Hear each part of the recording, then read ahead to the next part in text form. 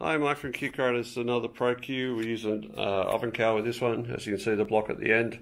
You can find more information about that on the link below.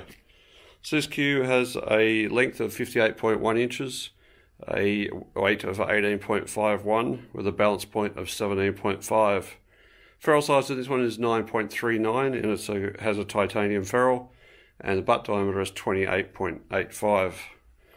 As you can see, it's very good quality grain. Use uh, North American ash, and you can see how nice and tight it is. So you can find this on the website or design your own cue as well at www.cuecreator.com.